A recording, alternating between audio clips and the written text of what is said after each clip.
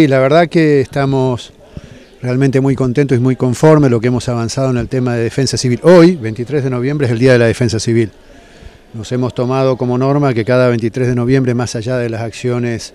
que en forma periódica se llevan adelante en los establecimientos educativos, también en los establecimientos industriales o en aquellos lugares de concentración de público, como fue Letual no hace mucho tiempo, eh, creo que tomar este día como referencia para llevar adelante una acción clara y concreta nos tiene que servir para movilizar a toda la comunidad. El año pasado hicimos esta misma actividad en otro lugar, con evacuación de escuelas y todo lo demás.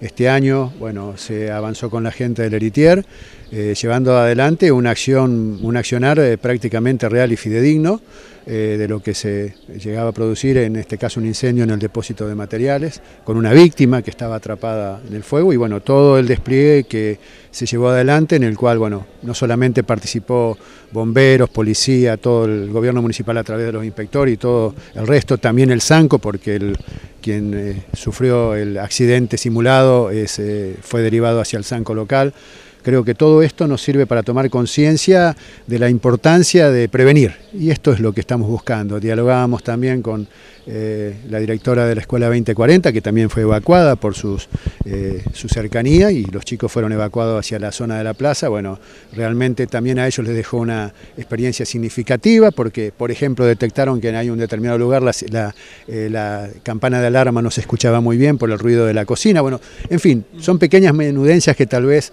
la comunidad no las alcanza a evaluar a través de lo que uno dice, pero sí en el, en el terreno y en el campo creo que deja experiencia significativa. Es interesante que cada empresa o cada institución tenga su propio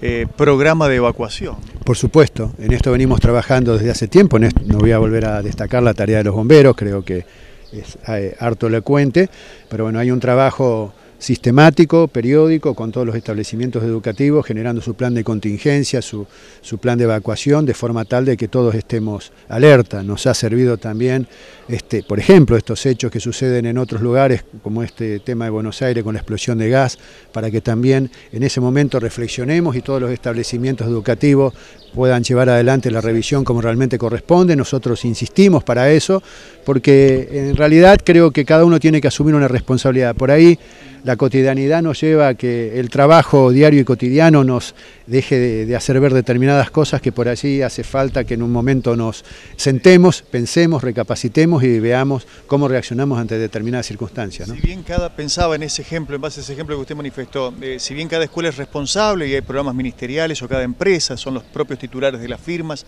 las que deben tener planes de evacuación, ¿cuál es el área del gobierno de San Carlos Centro que puede ayudar a coordinar estas acciones o a motorizarlas para que aquellos que aún no lo realizaron, digo, bueno, nosotros le tenemos una mano. Nosotros fundamentalmente es un tema que eh, venimos llevando adelante a través de la red de instituciones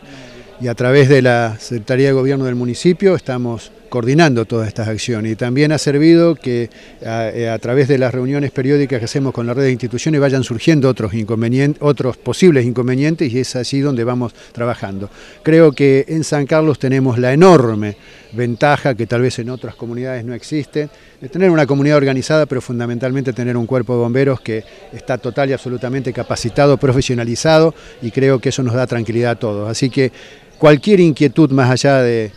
concurrir a la sede del gobierno o charlar con cualquiera de nosotros, creo que con bomberos eh, podemos tener una relación que nos va a permitir avanzar en muchos aspectos.